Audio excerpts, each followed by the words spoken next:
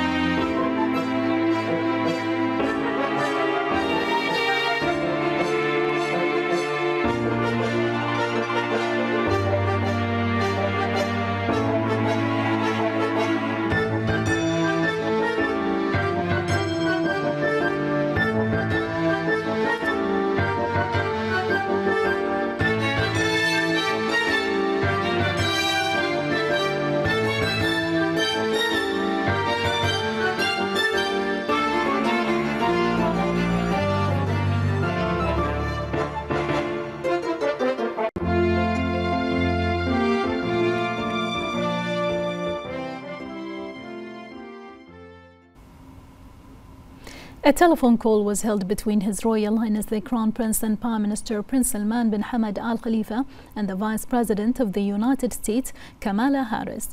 During the call, His Royal Highness highlighted the strength of the Bahrain US strategic partnership and noted the US pivotal role alongside various allies in pursuing international peace and security and furthering regional and international development.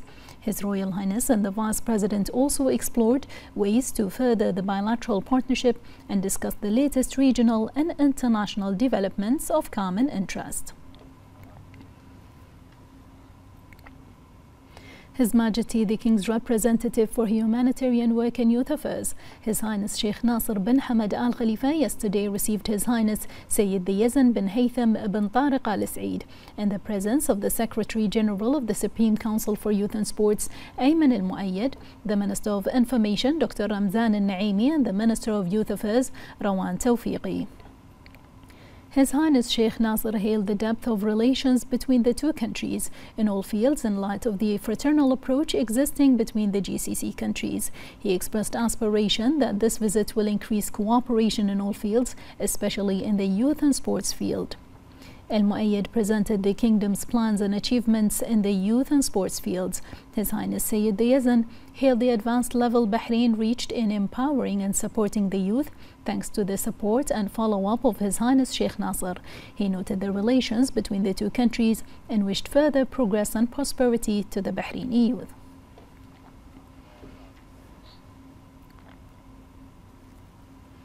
His Majesty the King's representative for humanitarian work in youth affairs, His Highness Sheikh Nasser bin Hamad Al Khalifa, yesterday bid farewell to Oman's Minister of Culture, Youth and Sports, His Highness Sayyid Yazan bin Haytham bin Tariq Al Said, following an official visit where he met with His Majesty King Hamad bin Isa Al Khalifa, His Royal Highness the Crown Prince and Prime Minister Prince Salman bin Hamad Al Khalifa, and a number of senior officials to discuss ways of enhancing the fraternal relations between the two countries. Also present were the chairman of the Board of Trustees of the Isa bin Salman Education Charitable Trust and chairman of the Board of Directors of Tamkeen, His Highness Sheikh Isa bin Salman bin Hamad Al Khalifa, His Highness Sheikh Mohammed bin Salman bin Hamad Al Khalifa, and senior officials.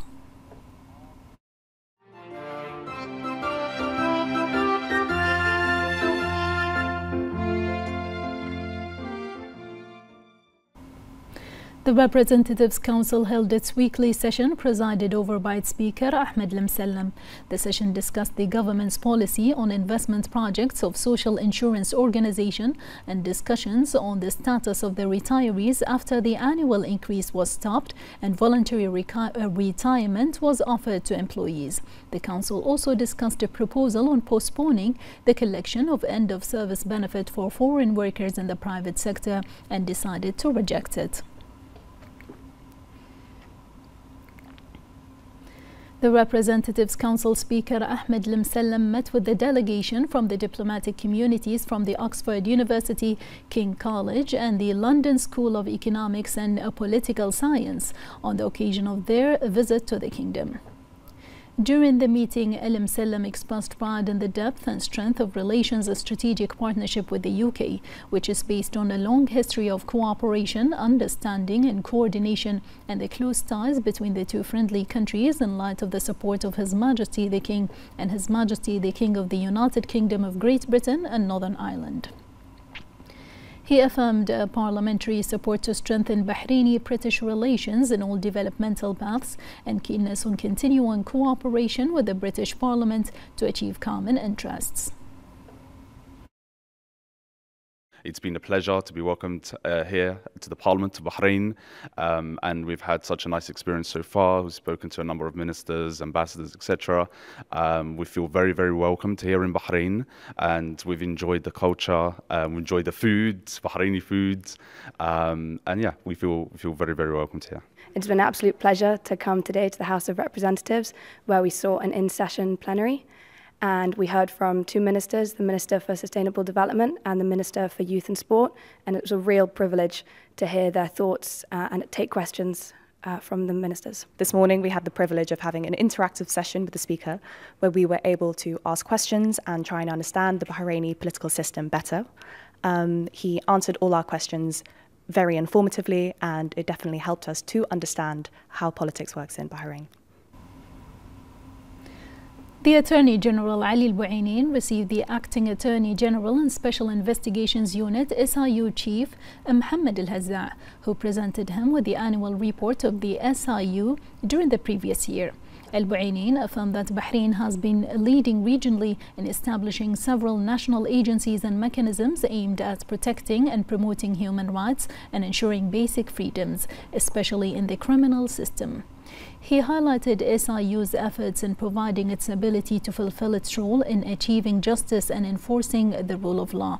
The Attorney General commended the efforts of the head of the unit, its members, and all its employees in taking all the necessary legal measures in crime cases with integrity, independence, and objectivity, which resulted in continued decline in complaints rates of more than 80%. The chief of SIU expressed appreciation for the Attorney General's support and affirmed the unit's keenness to carry out the tasks entrusted to it to enhance respect for human rights and ensure accountability. The Sustainability Forum Middle East launched its second edition in the presence of the Minister of Oil and Environment Special Envoy for Climate Affairs, Dr. Mohammed bin Mbarak bin Daina. More in this report. The forum focused on highlighting solutions for accelerating regional decarbonization through the facilitation of dialogue and cooperation and hands-on learning. This is a fantastic event for the Kingdom of Bahrain, the first big sustainability forum event in 2024. This is a topic that, of course, is very important for not only the Kingdom of Bahrain, but the entire region. We had a fantastic COP28 in Dubai recently, some very uh, uh, action-orientated results from COP28, and now at this conference we're ready to start to put those into action. We are leading in a lot of the areas in sustainability and uh, carbon management and uh, mitigation of climate change. So I think it's a fantastic opportunity for Bahrain to showcase what we're doing here in the kingdom. We're now getting beyond the stage of discussion and now getting into action planning. And this is what's really important. This year's theme focused on achieving net zero, pathways to accelerating implementation. Bahrain is uh, exhibiting a lot of leadership um, in decarbonization, in the development of renewable energy sources, and the transition to net zero. We have more than 400 guests here today, including um, delegates and speakers that have come from around the world to be here and we are uh, looking forward to discussing high level solutions, um, engaging in dialogue, and you know, together coming up with ways to accelerate this journey to net zero. The second edition featured a number of keynote addresses from leading climate and sustainability experts and panels made up of governments and business leaders. APM Terminals is very happy to be here. We're, we were invited to participate in this um, sustainability um, forum. It's the first time for me, um, but as a sponsor, certainly gives us exposure uh, to our ambitions and our um, uh, decarbonisation plans, which very much support the, uh, the Bahrain government's vision for reducing carbon decarbonisation, reducing CO2 emissions. Um, and we're here to support the event. Uh, hopefully we will be able to showcase what um, our roadmap looks like. It definitely supports the, the government's initiatives. Um, and I'll be talking this morning about uh, the, the importance of public and private partnerships, and hopefully we can shed some light on, on how we're adding value to the economy as well. The forum took a serious approach to highlighting the urgent need for business leaders not simply to announce net zero and sustainability strategies, but to take concrete steps to accelerate their implementation. Reporting for Bahrain International, this is Fatma Najam.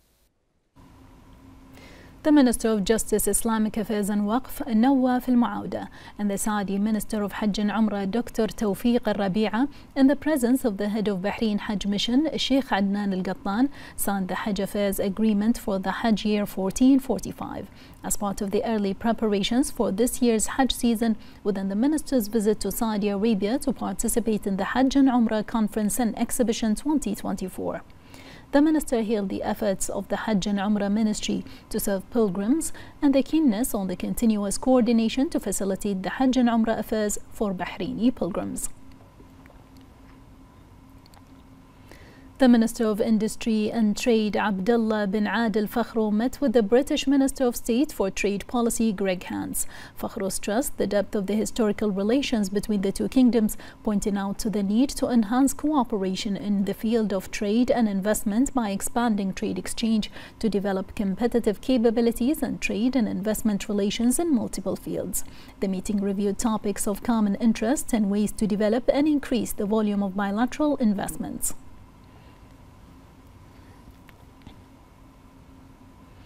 The General Directorate for Verdict Enforcement and Alternative Sentencing at the Ministry of Interior received the International Accreditation Certificate from the American Correctional Association for the ministry's Open Prison Program as the first entity outside the U.S. to obtain the accreditation, which reflects the level of high professionalism and performing and quality of work as well as the commitment of all participants and standards followed globally in the field of rehabilitation and reintegration into society in a manner that guarantees human rights.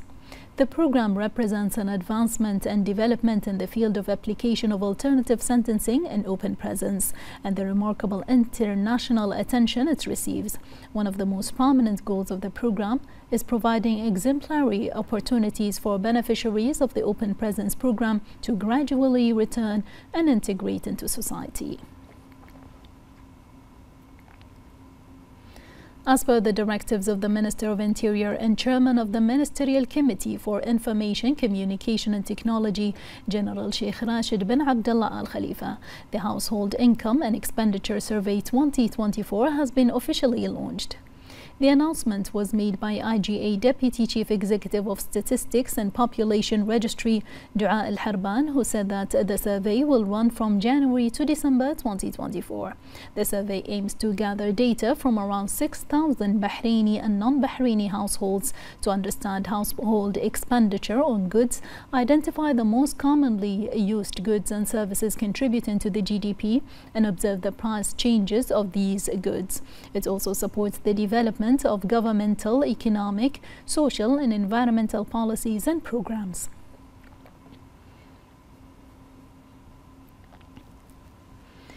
And to delve deeper into this significant national survey, we're delighted to welcome via telephone Information and E-Government Authority Deputy Chief Executive of Statistics and Population Registry, Dua Al Harban, who will share more details about this initiative. Welcome, Dua Al Harban. Can you tell us uh, what are the reasons for conducting this national survey and what are its goals? Uh, actually, the household income expenditure survey is a globally recognized practice. Most countries uh, all around the world uh, conduct uh, survey through their statistical agencies. Uh, so, similar to other countries, the Kingdom of Bahrain carries out the survey using international uh, accepted methodologies and uh, forms based on international recommendations. Uh, previously and historically, Bahrain conducted the survey every 10 years, aligning with many other countries. And in the future, inshallah, we are hoping to conduct it every five years. Uh, house, household income and expenditure survey will not cover all the households in Bahrain. Uh, instead, it randomly selects a sample of around 6,000 households, both Bahrainis and non-Bahrainis. Uh, the sample will be uh, served through the, the year. So each month we will have different uh, sa uh, sample of households. Each household will be uh, served for one month only, approximately four times by a researcher. the survey consists of three forms. The first one the first one, uh, filled during the researcher's visit, gathers data about housing characteristics and family members residing at the address. The second form, also completed during the visit, details the family's spending on durable goods and services like electrical appliances, car purchases, home maintenance, health uh, care services, etc. The third form is a diary where the selected family logs on daily basis all, the, all their uh, expenditures on goods and services over a month. The survey aims to understand household spending patterns, the most consumed goods and services, and the demographic, social, and economic factors influencing these uh, patterns. And what is the process of this national survey? Well, uh, the data collection uh, will be in both methodologies. A call center through the number 17878070 and a field visit by, by our 35 researchers. Uh, we encourage everyone to contribute to the success of this national survey by participating and providing accurate information. Uh, inshallah, we are trying to assure the public that uh, uh the all the phases of the survey will be confidential uh, and the immediate results will outline the list of goods, as we mentioned, all the goods and services on which families spend, and this data definitely will contribute to calculation of the consumer price index, a vital economic indicators, along with several other social, socio-economic, and uh, environmental indicators. And that was information in e-Government Authority Deputy Chief Executive of Statistics and Population Registry, Dua El Harban. Thank you very much for joining us. The Assistant Under Secretary for Sanitation at the Ministry of Works, Engineer Fethi El Fari, affirmed that the fourth expansion project for the Tubli sewage water treatment plan will contribute to increasing the capacity of the current plant, noting that the overall completion rate reached 77%. He stated that many steps have been completed, including the construction of the sewage conveyor line between the collection room for the main lines and the main pumping pumping station using special tunneling technology. The construction of a sewer line using deeper excavation technology was also completed. He added that the work is currently underway to establish a sewer line linking the old and the new station and an emergency line to the sea as the completion rate of this part of the project has reached 85 percent.